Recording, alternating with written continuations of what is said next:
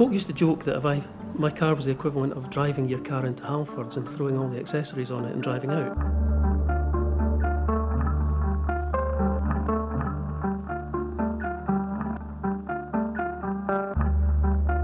My name's Jim Crosby, and this is my ListerBell STR, which is a Lancia Stratos replica made manufactured by LB Specialist Cars in Nottingham.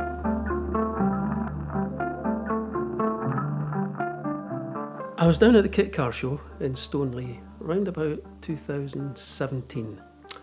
I had an Ultima, I was looking at Ultima things. I walked into a show hall, and there were lots of Stratos replicas there, and it was just a wow moment, a big flashbang, want one, need one. I'm quite shy, reserved, retired, but there was a queue of folk waiting to get to the front to speak to Craig and Lydia from LB Specialist Cars, and I joined it. And I wasn't really quite sure what I wanted to ask. Um, so by the time I got to the front of the queue, I'd heard folk asking about chassis torsional rigidity and CAN bus ECUs and damper rates and sensible stuff. And I got to the front and I pointed at one that had decals on it and it even had Alitalia colours. And I said, if I wanted one of them, could I have one? And he said, yeah. And I said, but I want all the lights on it. Yeah, you can have that. And I said, I, want the big square arches at the back. Yeah, yeah, you can have that. And the roof scoop, I want the roof scoop. And I, and I want the exhaust that spit flames out the back. And the dashboard, all the dials on it. I want all these things. And it was like, yeah, yeah, of course you can have that, of course you can have that. And I had no more questions because everything I asked I could get. So I went away quite happy, deciding that, yeah, I, I, I was going to, I was going to have one, which was quite impulsive, really, and quite brave, especially when I phoned home.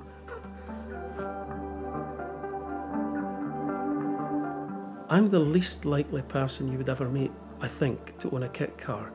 I've got no mechanical skills, no mechanical aptitude, no interest in learning a new hobby, no interest in getting oily, buying tools, living in a shed. And yet, for this, I was thinking back, and I've owned a Westfield Megablade, which was a kit car with a Honda Fireblade engine, built by a man in a shed. And I've owned a Caterham R300 Superlight, which is a kit car built by a man in a shed. I've owned my Ultima for seven years, which is a supercar kit car built by a man in a shed. So I'm perhaps more kit carry minded than I thought.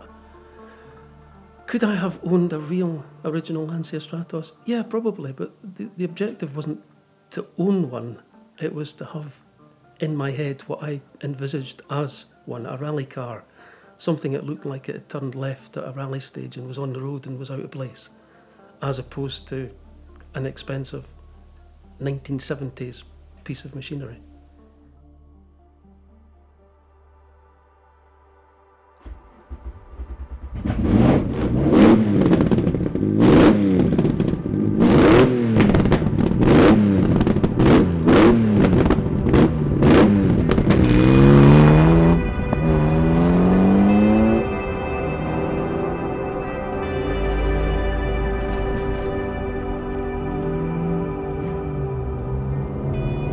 When I was specking the car, one of the main things I wanted was the the rally dashboard, all the all the dashboard dials, all the switches, all the toggles.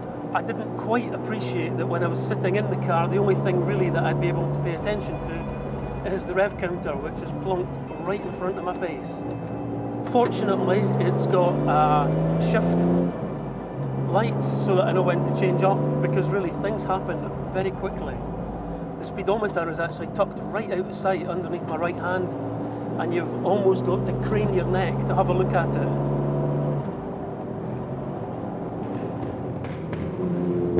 A really big feature for me was always going to be the, the noise of the car, the spirit, the soul of the car. I was never overly focused on the ultimate power. Ultimate power for one of these, you'd probably get a, one of the Lotus Evora supercharged V6 3.5 litre engines. You could possibly get up to about 400 brake horsepower the power aspect was never what I was looking for. I wanted noise, I wanted almost a personality in the car that spoke.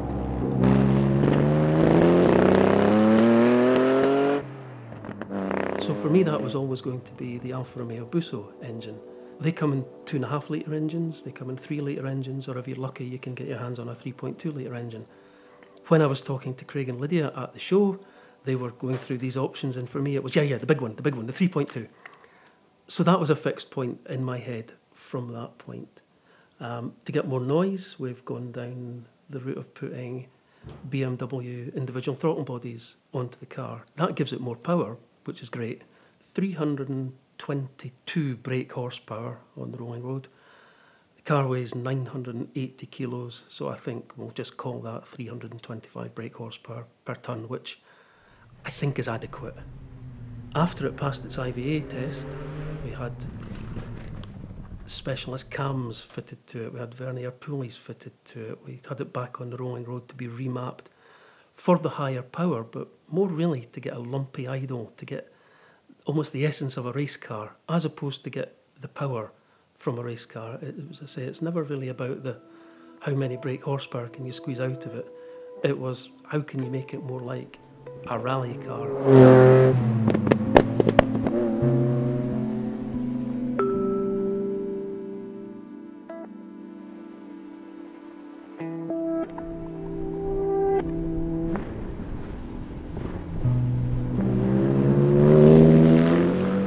I struck lucky when I discovered that I was one day I was sitting watching football, laptop, surfing the internet, looking at Lancia Stratos things, and I discovered a website that sold 118th scale model cars. I found that they did 118th scale Lancia Stratoses. I found that they did a Lancia Stratos in an Alitalia colour with decals that are light, with a quad pod, with the lights at the bottom, with a roof scoop, with the twin exhausts, with absolutely everything that I wanted in my head from my car. So suddenly that was my car. I, I, bought the model and that was that was it. That was the target. When I was talking then to Craig and to Lydia, to anyone else who was involved with my car and the building of it, I was able to refer to my car, which is car number four, finished second in the Tour de Corse 1977. Yeah, it gave the focus. It wasn't the thing that started it. It came along halfway through, but it's the only car that I've seen as a model which has everything on it that, that I wanted. So it was then my car. I started the Pistonheads thread, I think, two and a bit years into the process of um, getting the car. I think at that point I'd already got the chassis, the engine had been sent away to Cardiff to be rebuilt by a specialist engine builder. There were a lot of things that had already happened to the car then. So starting to document that I thought would be interesting and I thought it would probably be finished in about eight months didn't quite appreciate I'd be contributing to my own thread still another couple of years later. Uh, part of it was a sanity check. I actually quite enjoyed it. It gave me something to do with all the photos that I had. So that was that was where Piston Heads came into it.